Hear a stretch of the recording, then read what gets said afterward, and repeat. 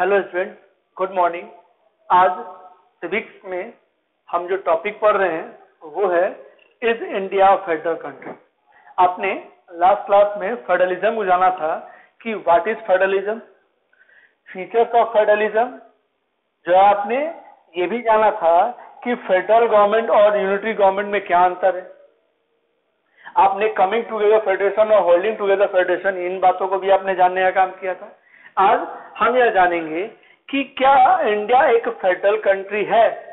तो हम यह कहेंगे कि हमारा जब संविधान बना था तो खासकर जब हम बात करते हैं आज़ादी की तो हमें आज़ादी जो है काफ़ी संघर्षों के बाद मिला था और आज़ादी के समय जो है हमें एक जो है खूनी संघर्ष करना पड़ा। मतलब हमारा देश जो है ब्रिटिशर्स ने दो भागों में बांट दिया, जो है हिंदुस्तान और पाकिस्तान।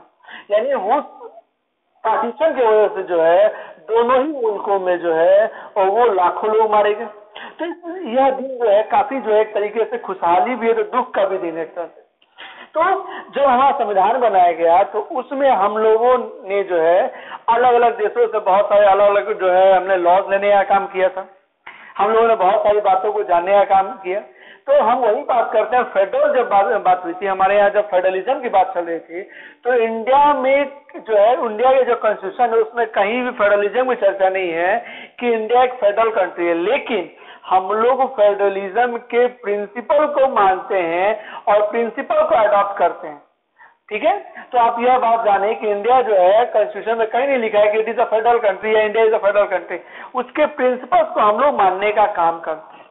तो यह बात आपको बहुत अच्छे से समझ में आ गई होंगी कि इंडिया फेडरल कंट्री है नहीं। तो कहें तो इंडिया फेडरल कंट्री नहीं है, लेकिन उसके प्रिंसिपल्स को यह मानने का काम करता है, जिस वजह से हमारे यहाँ पावर्स को जो है, वो डिस्ट्रीब्यूट किया गया है। जो था आपको, जो था कंट्री जो है, एक तरह से जो है यूनियन में जो है, आपको स्टेट में, और फिर जो है, तीसरे लेवल है, इसको हम लोग कहते हैं लोकल गवर्नमेंट में यूनियन गवर्नमेंट स्टेट गवर्नमेंट और लोकल गवर्नमेंट पावर को डिस्ट्रीब्यूट किया गया। तो इस तरीके से जो है डिस्ट्रीब्यूशन ऑफ़ पावर्स को जो है हम लोग कह सकते हैं कि हाँ इंडिया फेडरलिज्म के प्रिंसिपल पर आधारित है। चलिए हम आगे बात देखते हैं। तो provision making India federal state यानी भारत को, भारत जो होता है फेडरलिज्म को कैसे उसके प्रिंसिपल को मानता है, इस बातों को जो है, कुछ बातें बताने का काम कर रहे हैं। जैसे पहला इंडियन कॉन्स्टिट्यूशन यानी हमारा जो संविधान है, वो एक लिखित किताब है, जिसके तहत जो है, हमारे यहाँ जितने भी रूल्स एंड रेगुलेशन है, उसको लिखे गए हैं। और हम जानते हैं कि we know that our constitution was हमारा जो संविधान है, वो लागू हुआ था, वो 26 जनवरी 1950 को, और उसके बाद से जो है, हम लोग हर साल जो है, कुछ कुछ कुछ ना कुछ जो है, नया लॉज बनाते हैं, और पुराने लॉज में अमेंडमेंट करने का काम करते हैं, क्योंकि समय के साथ साथ जो है, वो नए लॉज बनाने की ज़रूरत होती है, और पुराने लॉ में अमेंडमेंट करने की ज़रूरत होती है। तो इसलिए जो हम कह सकते हैं कि हमारा संविधान जो है, वो लिखित किताब है, वो सारी बातें जो है, वो लिखित है जो भी हमारे यहाँ जो है, चाहे राष्ट्रपति का चुनने का अधिकार हो, प्रधानमंत्री के क्या पावर्स हैं, आपको मुख्यमंत्री के क्या पावर है कि डीएम का क्या पावर है, जो हमारे यहाँ इलेक्शन कब होंगे, हमारे यहाँ जो है कौन इलेक्शन कंडक्ट करने का काम करेगा, यह तमाम बातें जो है, वो संविधान में मेंशन की हुई। फंडामेंटल राइट्स क्या होंगे फंडामेंटल ड्यूटीज़ क्या होंगे। चलिए, आगे। सुपरमेसी ऑफ़ द कॉन्स्टिट्यूशन यानी हमारे इंडिया में जो है वो कॉन्स्टिट्यूशन के अकॉर्डिंग ही सारा काम होता है। हर एक वर्क जो है वो कॉन्स्टिट्यूशन के आधार पर ही काम किया जाता है और कॉन्स्टिट्यूशन को सुपर, सुप्रीम माना गया है। यानी कोई भी संविधान से ऊपर नहीं है तभी कोई संविधान के दायरे में रह कर ही उनको काम करना पड़ेगा। चाहे वो देश के राष्ट्रपति क्यों नहीं हो, देश के प्राइम मिनिस्टर क्यों नहीं हो every one are equal in the of the constitution and they should follow the constitution उनको जो है कॉन्स्टिट्यूशन को फॉलो करना होगा और उसी के दायरे में रहकर काम करने होंगे। तो यह बातें बता रही हैं आपको कि इंडिया जो है, कोई भी जो है आपके यहाँ पर जो है प्राइम मिनिस्टर है प्रेसिडेंट है जुडिशरी है, वो भी संविधान के दायरे में रहकर ही काम करने का, काम करने का काम करेंगे चलिए, आगे रिजेक्ट कर सर हमारे यहाँ जो संविधान है, उसमें जो भी आ, मतलब आ, कानून है, है वो रिजिड है। यानी कोई भी एक समूह वो अकेले उस संविधान में परिवर्तन नहीं ला सकता जिससे हम लोग कॉन्स्टिट्यूशनल अमेंडमेंट का नाम देते हैं संविधान संशोधन का नाम देते हैं। उसमें आपको अगर हम बात करते हैं सेंट्रल लेवल पे तो सेंट्रल लेवल के लिए जो है आपको लोकसभा और राज्यसभा दोनों में ही उस कानून को बदलने के लिए जो है आपको अगर हम बात करें दोनों में ही आपको 50 परसेंट से ज़्यादा की मेजोरिटी चाहिए, लोगों की सहमति चाहिए और साथ ही साथ जो है आपको 50 परसेंट के साथ साथ जो है आपको राष्ट्रपति का अप्रूवल चाहिए।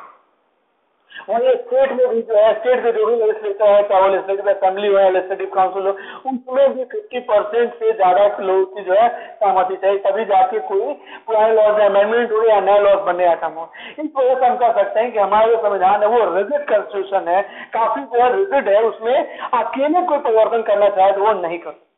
आगे डिवीज़न ऑफ़ पावर्स यानी हमारे यहाँ जो पावर्स को जो है वो डिस्ट्रीब्यूट किया गया। आपने लास्ट चैप्टर में ही पढ़ा कि कैसे पावर्स को जो है अलग अलग पॉलिटिकल पार्टीज़ में जो है वर्टिकली पावर्स को डिवाइड किया गया है। आपको सेंट्रल स्टेट और लोकल गवर्नमेंट का फेडरलिज्म का नाम दिया आपने, जो फिर आपको हॉरिजेंटल डिस्ट्रीब्यूशन पावर किया गया है, जिसमें लेजिस्लेटिव एग्जीक्यूटिव और जुडिशरी आता है।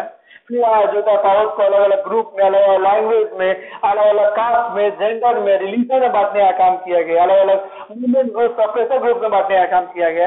यानी पावर्स को हमारे यहाँ जो है, आपको डिस्ट्रीब्यूट कर दिया गया है, जिससे कोई भी व्यक्ति, कोई भी समूह, कोई भी जाति, धर्म, भाषा वाले लोग अपने आप को यहाँ कमज़ोर या अपने आप को जो है, यह ना समझे कि हमारी कोई इमेजिन हमारा कोई जो है रिस्पेक्ट ही नहीं। आगे। इंडिपेंडेंट जुडिशरी हमारे यहाँ जुडिशरी जो है कंप्लीट इंडिपेंडेंट है। उस पर किसी का दबाव नहीं है। और ये जो जुडिशरी की जो भी प्रोसेस होती है, वो एक सिस्टमैटिक मैनर में चलती है। ऐसा नहीं कि आपने देखा जो दूसरे देशों में, जैसे हम बात करते हैं सऊदी अरबिया रीजन में, या ऐसे जो नॉन डेमोक्रेटिक कंट्री है, उसमें क्या होता है कि अगर वो जुडिशरी जो है, वो गवर्नमेंट के खिलाफ अगर डिसीज़न देने का काम करते हैं तो उस पर जुडिशरी डिसीज़न को बदल डालते हैं। जबकि इंडिया में ऐसा नहीं है। जो भी डिसीज़न दिया गया जुडिशरी के द्वारा, वो हर एक व्यक्ति को मानने का अधिकार है। यहाँ तक कि मैं आपको बताता हूँ, अगर सिविल कोर्ट छपरा में सिविल कोर्ट है, अगर यहाँ जो है राष्ट्रपति या प्रधानमंत्री के खिलाफ कोई जो होता है केस हो गया, और कोर्ट ने सम्मन भेज दिया तो प्रधानमंत्री राष्ट्रपति को वो आना पड़ेगा। इसलिए ज़्यादा हमारे कोर्ट का सम्मान है, और सोच सकते इंडिपेंडेंट है। और इस तमाम जो आप देख, देखते हैं, कई लोग जो है, इससे कुछ डरते हैं। आपके आपके बिहार के जो लालू प्रसाद यादव इसी जुडिशरी में, वो जो है, वो जेल में है। ए राजा जो टूजी स्पेक्ट्रम में घोटाला किया, आपको, आपके देश के पास पीवी नरसिंह है जिन्होंने करप्शन किया, जो आपको स्कैम किया, उसके वजह उनको जेल की सजा हुई हमारे यहाँ इंडिपेंडेंट है, और वो जो भी जिससे नया काम करती है, वो निष्पक्ष नया काम करती है, और उस पर किसी तरह का दबाव नहीं। तो इस तरीके से आपने जाना कि कैसे हमारे यहाँ जुडिशरी जो इंडिपेंडेंट चलिए। ये आपने यह दो टॉपिक जाने का काम किया। अगला है डिस्ट्रीब्यूशन ऑफ़ लेजिस्लेटिव पावर यानी हमारे यहाँ जो लेजिस्लेटिव पावर्स है इंडिया में, कैसे उसको डिस्ट्रीब्यूट किया गया? तो सबसे पहला है यूनियन लिस्ट यूनियन लिस्ट क्या होता है? तो इसको केंद्र सूची हिंदी में कहते हैं, यानी यूनियन गवर्नमेंट सेंट्रल गवर्नमेंट के हाथ में जो है वो पावर्स कौन कौन से हैं? उनके जो है क्षेत्र अधिकार जो कहते हैं वो जुडिशन एरियाज़ क्या क्या हैं जिससे वो रूल बनाने का काम लॉ बनाने का काम जो है, या लॉ अमेंडमेंट करने का काम जो है, या उससे संबंधित डिसीज़न लेने का काम करते हैं। तो चलिए हम बात करते हैं। आप रिसर्च जानते हैं, चाहे वो रिसर्च एटॉमी के फ़ील्ड में हो, या आपको जो है अगर बात करें स्पेस रिसर्च के बारे में हो रेलवे हुआ, आपको इंडियन पोस्ट ऑफ़िस हुआ बैंकिंग हुए फॉरेन डील्स होते हैं, ये तमाम तरह की जो बातें हैं, वो आपको सेंट्रल गवर्नमेंट के अंतर्गत आती ये आपने जानना कि इससे संबंधित जो भी डिसीज़न लेने का काम है, जो भी रूल बनाने को लेकर है लॉज बनाने को लेकर है लॉज में अमेंडमेंट करने को लेकर है, इसका टोटल जो भी जुडिक्शन है वो सेंट्रल गवर्नमेंट के पास। चलिए अब बात करते हैं सेकेंड है स्टेट लिस्ट स्टेट लिस्ट में जो आपको आते हैं, वो है आपको ट्रेड हो गया कमर्स हो गया हो गया एग्रीकल्चर हो गया इरिगेशन हो गया. इन जैसे मुद्दों पे जो है स्टेट गवर्नमेंट जो है वो आपको जो है, वो रूल बनाने का काम कर सकती है. नए रूल को लेकर जो है हो सकती है, वो पुराने लॉ में अमेंडमेंट करने को लेकर हो सकती है. या हो सकता है कि आपको जो कोई डिसीज़न लेने के हो इन जो जो सब्जेक्ट्स हैं, उस पर जो है पूरा जो जुडिक्शन है, पूरा जो एक तरीके से पावर है, वो स्टेट गवर्नमेंट के पास है। चलिए बात करते हैं कंकरेंट लिस्ट कंकरेंट लिस्ट में जो होता है, जो आता है, आपको पुलिस आते हैं अडॉप्शन आता है मैरिज आता है यह तरह की इस तरह के जो सब्जेक्ट है, उस पर दोनों ही गवर्नमेंट को, यानी सेंट्रल और स्टेट गवर्नमेंट फॉरेस्ट हो गया। जो इन तमाम तरह के जो सब्जेक्ट हैं, इस पे दोनों ही गवर्नमेंट को सेंट्रल और स्टेट गवर्नमेंट दोनों ही मिलकर डिसीज़न लेना काम करेंगे। उसमें लॉज या जो होता है अमेंडमेंट करने को लेकर। हो और साथ ही साथ अगर दोनों के बीच में कोई क्लासेज होते हैं, किसी तरह का कोई जो तनाव होता है तो उसमें सेंट्रल गवर्नमेंट की बातों को ज़्यादा तरजीह दी जाएगी। समझ आ गया आपको? चलिए अगला है रेसिड्यूल लिस्ट में वैसे सब्जेक्ट को रखा गया, जो फ्यूचर में ऐसी बातें हो सकते हैं, जैसे कंप्यूटर से रिलेटेड सॉफ्टवेयर हुए आईटी से रिलेटेड हुए, जैसे आपको ऑनलाइन सर्विसेज़ हो गए जो है, आपके टेरोगेसी हो गए इस तरह के जो तमाम जो जो नए नए विषय आते हैं नए नए जो चीज़ें रोबोट्स हुए रोबोटिक्स डिपार्टमेंट में। इस तरह की जो चीज़ें हुई, वो आपको लिस्ट में रखी गई जो फ्यूचर में कुछ नए चीज़ें आते हैं तो उन सब्जेक्ट्स पे जो है, वो सिर्फ़ और सिर्फ़ सेंट्रल गवर्नमेंट को उससे संबंधित डिसीज़न या जो है अन्य चीज़ों का अधिकार है। तो यह बातें आपने distribution of legislative powers in India के रेस्पेक्ट में समझने का और जानने का काम किया। अब ये आपने जाना कि जो भी इससे संबंधित जो भी टैक्स है जैसे रेलवे का हुआ, कोई इंडियन सर्विस से हुआ बैंकिंग से हुआ, ये जो टैक्स नया काम करेंगे, वो आपको यूनियन स्टेट गवर्नमेंट के जो एग्रीकल्चर से जाते हैं, जो आपको पुलिस से आता है, ये सब तरह के जो टैक्स है, वो स्टेट का नया काम करेंगे। वो करंट करंट में जो आएगा, वो दोनों इक्वल डिस्ट्रीब्यूट करेंगे। ऐसे में जो होगा, वो सिर्फ़ और सिर्फ़ जो है, आपको सेंट्रल गवर्नमेंट इस पे रूल बनाने को लेकर हो टैक्स लेकर हो, इस पर डिसीज़न लेने को लेकर हो, ये बातें आपने समझ ली। चलिए, अगला टॉपिक है all Indian state do not have equal power यानी भारत में जितने भी स्टेट हैं, क्या सभी के पास इक्वल पावर है? तो हम कहेंगे नहीं। सभी राज्यों के पास, सभी यूटी के पास एक जैसा पावर सबसे पहले हम बात करते हैं जम्मू कश्मीर की, जो अभी हाल फ़िलहाल में जो है आपको फरवरी के करीब में जो है हमारे यहाँ आर्टिकल 370 आता है, जिसके तहत जो है उससे पहले हमारे यहाँ जम्मू कश्मीर एक स्पेशल स्टेट के रूप में जाना जाता था, जिसका एक अपना अलग कॉन्स्टिट्यूशन था। वहाँ लोगों को ज़मीन खरीदने का अधिकार नहीं था, वहाँ लोगों को बसने का अधिकार नहीं था। जो है, जो भी इंडिया के रूल रूल्स रेगुलेशन होते थे लॉज होते थे, वो वहाँ इम्प्लीमेंट नहीं होते थे, जब तक वहाँ के लेजिस्लेचर वो चीज़ें न पारित हो जाए। तो इस तरह से जम्मू कश्मीर जो है स्पेशल स्टेट के रूप में जाना जाता था। लेकिन आर्टिकल 370 के हारने के तहत जो है वो अब जो है जहाँ पहले उन्नीस स्टेट हुआ कर रहा था उसे अट्ठाईस स्टेट कर दिया गया और जम्मू कश्मीर को यूटी में कन्वर्ट कर दिया गया। यानी जम्मू एंड कश्मीर जो है वो एक अलग आपको यूटी हो गया और लद्दाख एक अलग यूटी हो गया। यानी जहाँ पहले सात थे वो अब जो है अब आठ हो गए। एक दादरा ये करके आपको है। हम्म, कर रहा हूँ उसको नाम को। उसको जो है मिला लिया गया जो है। चलिए तो ये बात आपने जान लिया कि सभी को नहीं। और हम बात करते हैं यूटीज यूटीज का मतलब होता है यूनियन टेरोटरीज।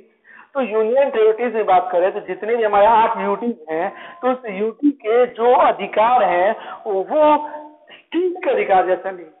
जैसा हम बात करते हैं दिल्ली का। दिल्ली भी जो है एक तरह का यूटी है। यानी उसके पास जो अधिकार है वो आपको जो एक बगल में यूपी है आपको उतने अधिकार नहीं है। वो उसके वो पुलिस व्यवस्था जो है वो आपको दिल्ली गवर्नमेंट के अंदर नहीं आती है। जबकि यूपी गवर्नमेंट के अंदर उसमें तमाम जो चीज़ें वो सभी उसके अंदर आ जाती है। तो इस तरह के जो आ, मतलब आ, कुछ यूटी है जो है आपको वो स्टेट के पास जो है, मुकाबले इक्वल नहीं है, उनको जो है उतना पावर नहीं दिया गया जितने स्टेट को दिया गया। तो इस तरीके से हम कह सकते हैं कि सभी स्टेट या यूटी के पास जो होता है इक्वल पावर नहीं है। यूटी भी एक तरह का स्टेट ही होता है। चलिए तो आपने आज बहुत सारी बातों को जानना का काम किया कि क्या इंडिया एक फेडरल कंट्री है? फिर आपने जाना कि प्रोविंस मेकिंग इंडिया और फेडरल स्टेट कौन सी वो बातें हैं जो इंडिया को फेडरल स्टेट में बनाने का काम करती हैं? Distribution of legislative powers in India all Indian state not have equal power यह जो है चार इंपॉर्टेंट टॉपिक आपने पढ़ने का काम किया। आप टेक्स्ट बुक्स को जो है, ध्यान दीजिए टेक्स्ट बुक को एकदम छोड़िए नहीं, आप उसको पढ़ने का काम कीजिए। और उससे संबंधित जो बातें आपको नहीं आती हैं, वो पूछने का काम कीजिए। नेक्स्ट क्लास में हम लोग नेक्स्ट टॉपिक की तरफ़ बढ़ेंगे। तब तक के लिए धन्यवाद।